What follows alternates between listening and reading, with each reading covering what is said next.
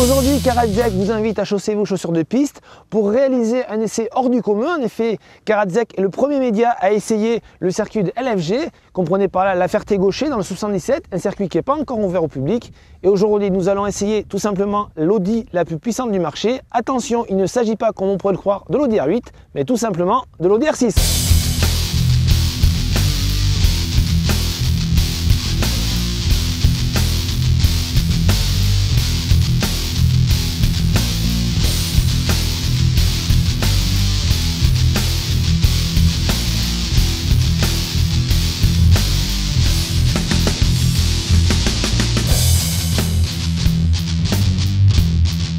La principale caractéristique de l'Audi RS6, c'est bien sûr son moteur. Regardez, il s'agit d'un V10 TFSI de 580 chevaux, 650 Nm, qui a servi à la même base que celui de la Lamborghini Gallardo, c'est-à-dire c'est vraiment un monstre, donc puissant, coupleux, mais surtout il y a une chose en particulier, c'est son bruit, on va vous le faire écouter, regardez.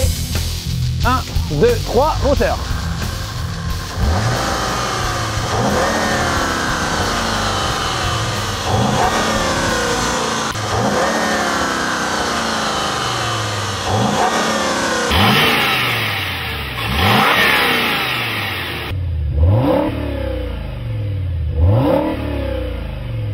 L'Audi RS6 existe en version break, on prenait ici à vendre, c'est le cas là, mais également en berline. Elle se différencie de la version A6 dont elle dépend de certains éléments caractéristiques. Vous avez également ici, regardez, d'énormes prises d'air latérales, si bien que les anti-brouillards sont désormais dans les blocs optiques.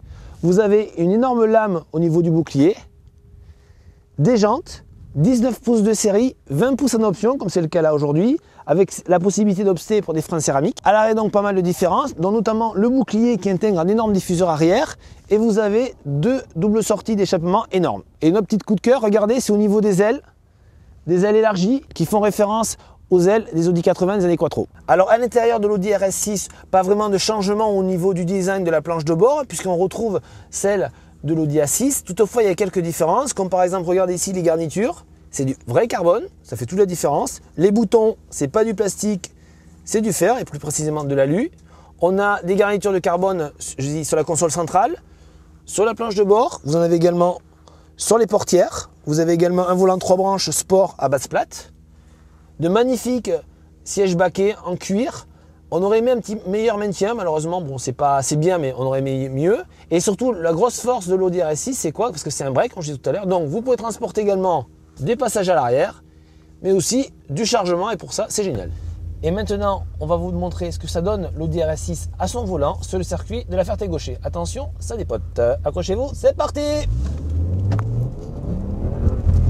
Alors, vous voyez, donc je vous ai tout à l'heure, 580 chevaux. Donc, le break est l'Audi la plus puissante sur le marché. On a affaire donc soit à une direction très informative, très précise. Au niveau de la boîte automatique, qui a un mode séquentiel, vous avez également des palettes derrière le volant. Donc vous voyez là, je suis en mode drive traditionnel. Je peux mettre en mode automatique sport. Donc qui a des rapports plus courts, des montées rapports plus rapides aussi. Et à tout moment, si vous avez envie, vous pouvez de conduire comme Michael Schumacher, hein, par exemple, conduire aux palettes. Donc des palettes qui sont placées relativement naturellement. À gauche pour descendre en rapport. Regardez. Et à droite, vous les montez. Vous accélérez, hop, vous montez un rapport, voilà. Donc c'est assez intuitif, hein. c'est malheureusement, on va dire, malgré la puissance, le DRS6 se dirige assez facilement. Il faut faire attention quand même, faut pas oublier qu'elle fait 2 tonnes. Hein. Donc c'est une voiture qui n'est pas légère, qui a une certaine inertie quand même à la conduite, mais ça accélère très très fort, regardez. Donc on sent le rupteur. Ça glisse un petit peu malgré les quatre motrices. Sent bien, vous voyez, ça, au bout de 850 mètres à peu près, on est à 170, 180. Donc ça accélère relativement fort. C'est un 3 secondes en 0 à 100. 0 1000 mètres arrêté, c'est 21 secondes. C'est à peu près le temps d'une Lamborghini Gallardo, c'est pour vous dire. Hein. C'est un break, mais ça pousse très très très fort. À conduire, c'est assez marrant. Parce que c'est vraiment les accélérations qui sont assez impressionnantes.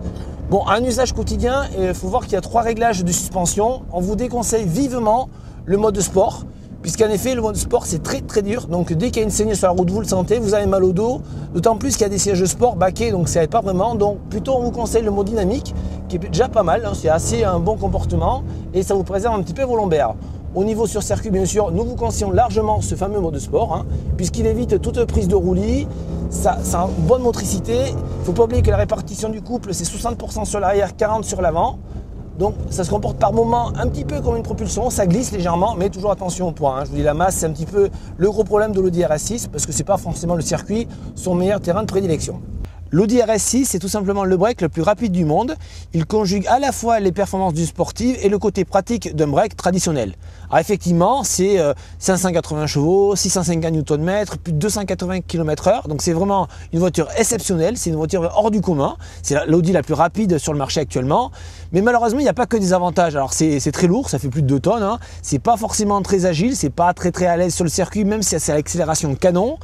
Ça a une consommation relativement importante d'environ 20 litres à peu près. Hein. malheureusement, ça a aussi un prix. Le prix, c'est 114 000 euros. C'est relativement cher. Mais le plaisir de conduite est quand même toujours là. Et ça qui est vraiment très agréable. Pour preuve, c'est bientôt Noël. Ben, moi, j'ai demandé quoi au Père Noël? Une Audi RS6.